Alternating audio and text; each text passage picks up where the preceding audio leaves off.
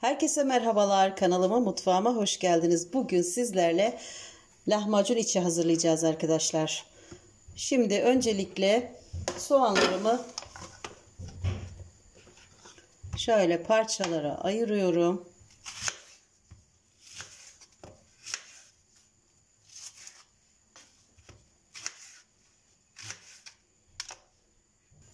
Üç tane soğanımız vardı arkadaşlar. Üç tane soğanı parçalara ayırıyorum. Daha sonra robota yerleştireceğim. Şöyle robotuma alıyorum. 6 diş sarımsağımız var. Sarımsakları da ortadan ikiye ayırıyorum.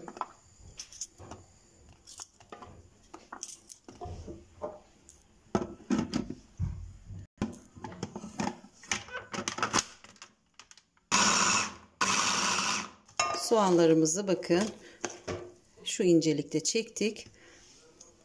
Şimdi kabıma boşaltıyorum.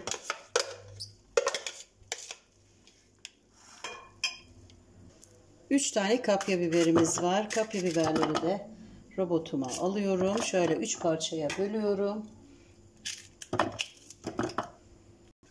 Dört tane yeşil biberimiz var. Yeşil biberleri de üçe bölüyorum. Yarım demet maydanozu da şöyle 3 parçaya bölüyorum. Tekrar robottan çekiyorum. Biberlerimizi de bu şekilde bu irilikte çekiyoruz arkadaşlar. Şöyle göstermek istiyorum. Bu şekilde yeterli olacaktır.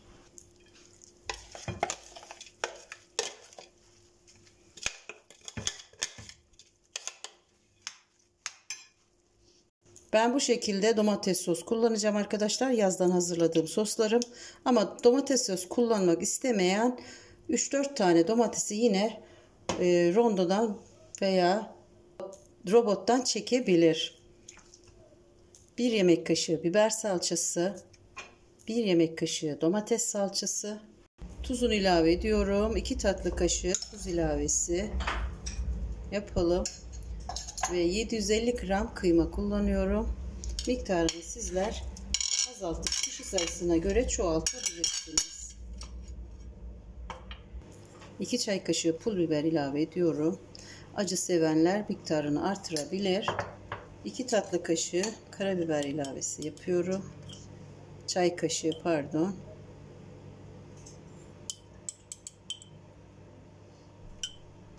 Bir çay kaşığı kimyon ilave ediyorum. Şimdi harcımı bir güzel yoğuruyorum.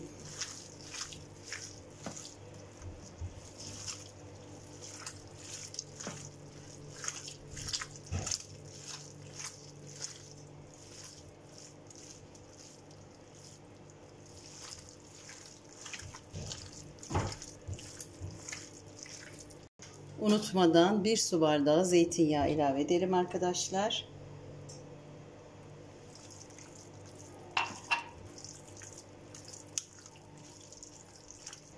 Kıvamının katı olmaması gerekiyor arkadaşlar. Eğer koyu bir kıvamda olursa yarım çay bardağı su ilave ediyorum ben. Su ilavesi yapabilirsiniz.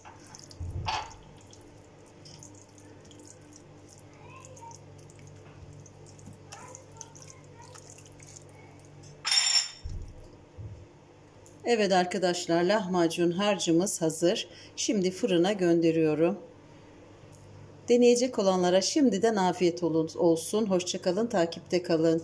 Beğeni ve yorumlarınızı bekliyorum.